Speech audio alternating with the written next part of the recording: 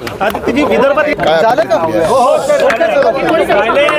एकंदरीत आपण पाहिलं असेल की अधिवेशनामध्ये अनेक विषय चर्चेला येत आहेत. आपला जो विषय आहे विदर्भ हे तसंच सगळेच विषय मला वाटतं गांभीर्याने घेतले पाहिजे. आज आपण पाहिलं असेल जे घटनाबाह्य मुख्यमंत्री आहेत ते मला वाटतं महाराष्ट्रातच नाही आहेत. इतर राज्यांमध्ये काहीतरी गेलेत एका शपथविधीला हजर राहण्याचे आदेश आलेले आहेत म्हणून तिथे गेलेले आहेत. मूळ गोष्ट हीच आहे काल देखील आम्ही पाहत होतो.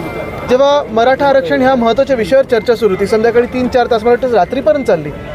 जे महत्त्वाचे काही वक्ते होते त्यावेळी मुख्यमंत्री आणि उपमुख्यमंत्री कोणीही हजर नव्हतं आमच्या हाऊसमध्ये ही अशी सगळी थट्टा चाललेली आहे. सर भाजपने आरोप मुंबईमध्ये सुरू. आरे कॉलनीमध्ये लँड जिहादचं प्रकरण समोर येत आहे. खरंच असं प्रकरण आहेत का? नाही सर थोडं मला बघायला लागेल. याच्यावर मी आता आपल्याकडून नाही भाजपने आरोप केलाय धारावीमध्ये जो मोर्चा सुरू आहे त्यावर भाजपचं असं म्हणणं आहे की जे युबीटी कार्ड आहे ते जर अदानींनी रिफिल केलं तर हा मोर्चा थांबेल. बरोबर आहे ना त्यांच्या मित्राला एवढं बोलल्यानंतर त्यांना वाईट तर वाटणारच.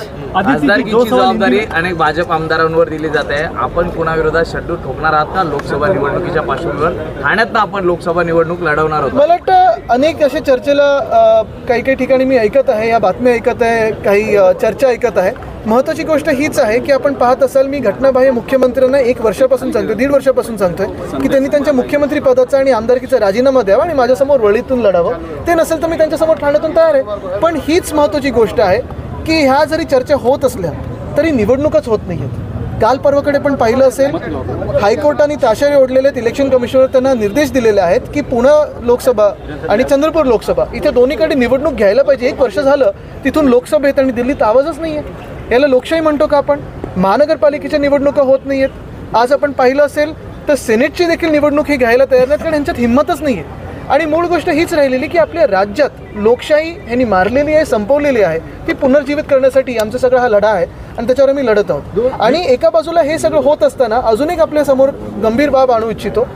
काही काही गोष्टी एवढ्या वेड्यावाकडे होत चाललेल्या आहेत कालच पेपरमध्ये आलंय की मला वाटतं बोरिवली विरार या रेल्वेसाठी काही कांदळवानं हलवायचा प्रयत्न आहे. आणि तसा प्रस्ताव आहे. पण त्याचं ते लावणार पुढे कुठे पुन्हा लागवड करणार आहे? तर गडचिरोलीत.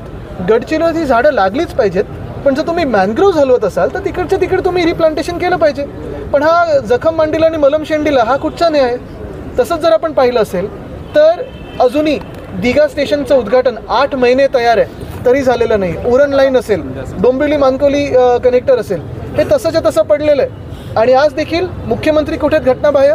राजस्थानमध्ये. आहेत. आदेश आले म्हणून तिथे गेले आपण पाहिलं असेल एम टी एच एलचं अजून उद्घाटन पेंडिंग आहे. मुख्यमंत्री कुठे आहेत राजस्थानमध्ये. आहेत. आजच मला वाटतं पेपरमध्ये आलं काल उत्तर दिलं गेलं की आपल्या राज्यामध्ये अडीच हजार शेतकऱ्यांनी आत्महत्या केलेल्या आहेत. शेतीचा प्रश्न हा मोठा आहे कृषी क्षेत्र हे कोलमडलेलं आहे. मोठे मोठे उद्योग देखील दुसऱ्या राज्यात जात आहेत. घटनाबाह्य मुख्यमंत्री दुसरीकडे प्रचाराला जातात शपथविधीला जातात दिल्लीला बोललं की दिल्लीला उडी मारत जातात. पण आमच्याकडे आमच्या महाराष्ट्रामध्ये फेरी मारायला काही त्यांना कुठेच वेळ मिळत नाही. मुंबईचा पदवीधर मुंबई मुंबई